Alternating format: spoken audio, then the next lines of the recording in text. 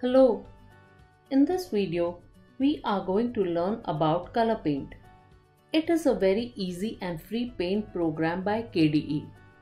With KolourPaint, you can have lots of fun by doing paintings and drawings, editing photos and applying cool effects on it, making icons or logos, or even taking screenshots and editing them.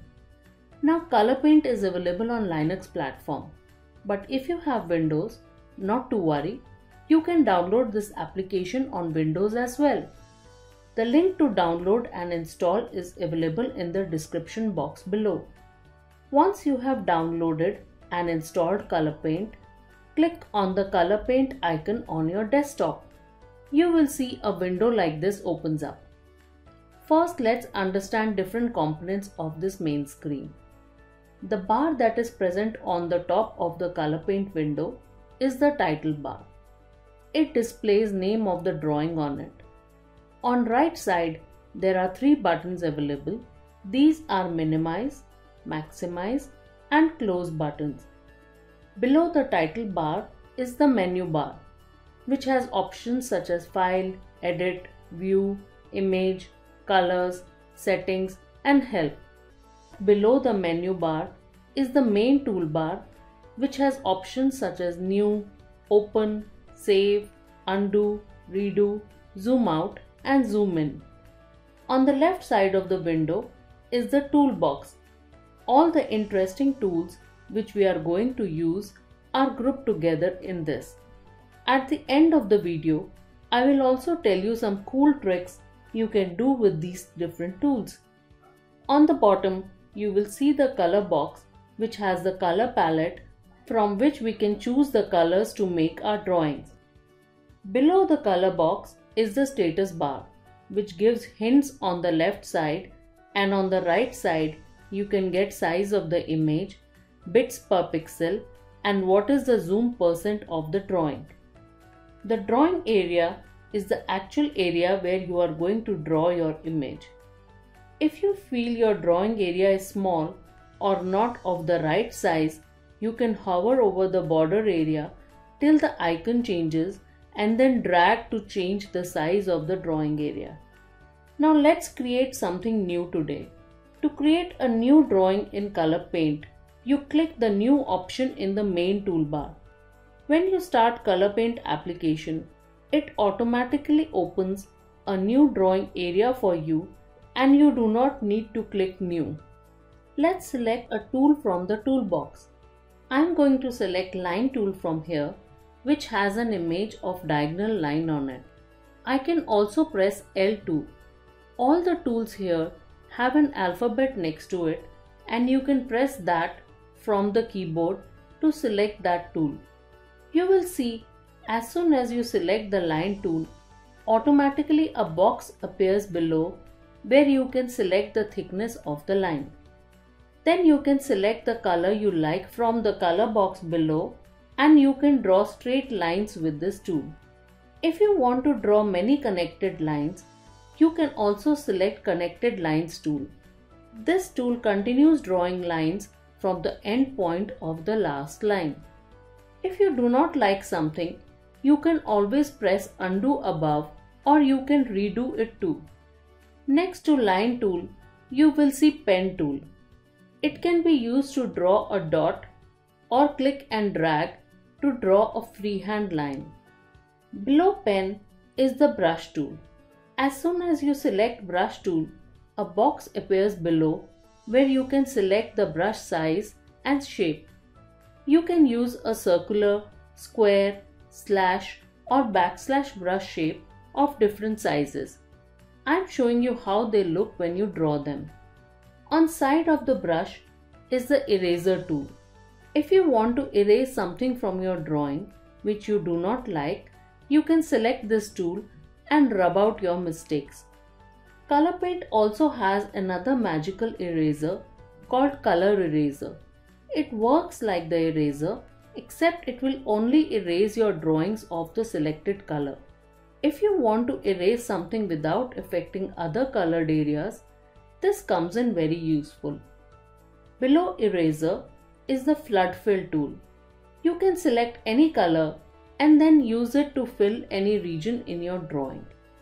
KolourPaint also has a spray can tool which you can use to draw as if you are spray painting. This is also available in three different sizes. Before I tell you about the other tools which helps us to draw shapes, let me tell you more about the color box. We are till now using the color palette to select the colors we want. On the left side of the palette is the color tablet. You see it has two squares, one above the other. The above one shows the foreground color and the square below shows the background color. You can click on the double-ended arrow to swap the squares and then set the foreground and background colors. Now where is this background color used? Let's see it in action in shapes.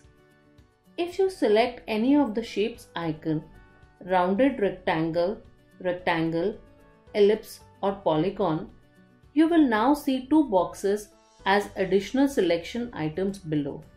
From the lower box, you can select the width of the line, but the upper box also has three options.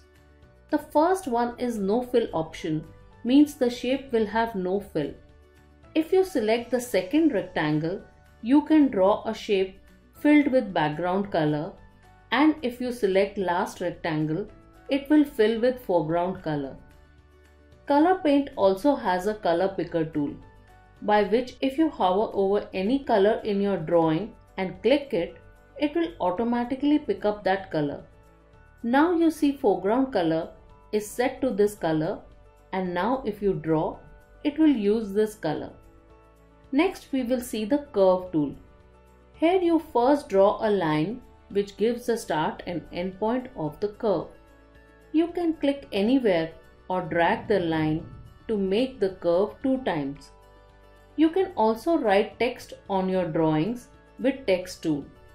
Moment you select the text tool, a text toolbar appears on the top. From here you can select some amazing fonts and set size of your text. You can also make your text bold, italic, underlined or deleted. To write you need to first drag an area where you want to write the text. You can resize the text box and also drag on the border to move it. Here I am showing you how you can select the text and make it bold or italic or underlined. Storing your work is known as save. You need to save your drawings otherwise they will be lost once the computer is shut down. To save, you can either click save on main toolbar or in file menu click on save.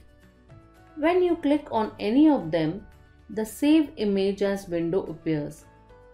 You can type any name for your drawing in the file name, select where you want to save it and click on save button.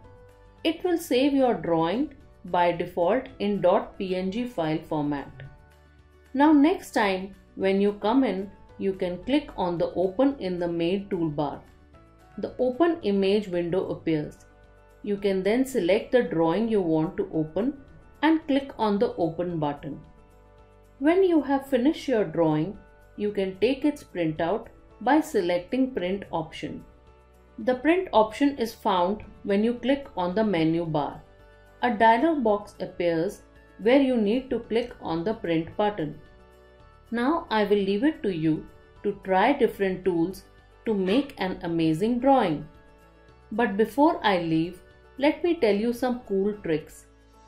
For most of the tools, if you draw with the left mouse button, it will use foreground color.